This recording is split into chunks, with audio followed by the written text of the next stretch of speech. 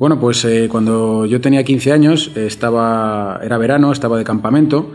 y empecé a notar que, tenía mucha sed eh, a lo largo del día, también tenía mucho hambre, pero comía y seguía teniendo hambre y por, por más que bebía, pues seguía teniendo sed. Al beber tanto, pues también iba, iba mucho a orinar y empezaba a perder peso paulatinamente y me sentía cada vez más, más débil eh, y cansado. ahí me dijeron que, que tenía diabetes tipo 1, que era necesario que, me inyectase insulina eh, de por vida y que tenía que controlar pues, pues la dieta, la actividad física eh, y empezar a convivir con, esa enfermedad. Para inyectarte la insulina, pues al principio uno tiene un poco de miedo y el propio cuerpo eh, reacciona pues contrario a que, a que te pinches, pero luego cuando pasan, depende, a veces pues unas semanas, eh, te das cuenta que, no duele tanto pincharse. Eh, al principio, el que te digan que no puedes eh, tomar azúcar, ningún tipo de dulce,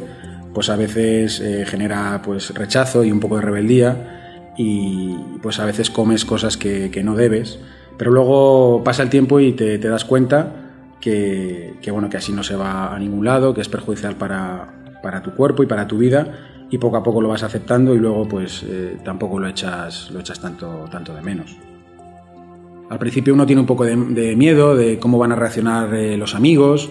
o cómo van a reaccionar a lo mejor las chicas que conozcas, pero luego te das cuenta que, en general la gente cuando tú hablas de tu problema, eh, todo lo contrario, te apoyan, te ayudan y, además lo saben y, no hay que tener miedo por eso porque luego la gente te ayuda y ya está. El cuidado diario de la diabetes eh, tiene tres factores, eh, las tres patas eh, que son las más importantes, que es la dieta,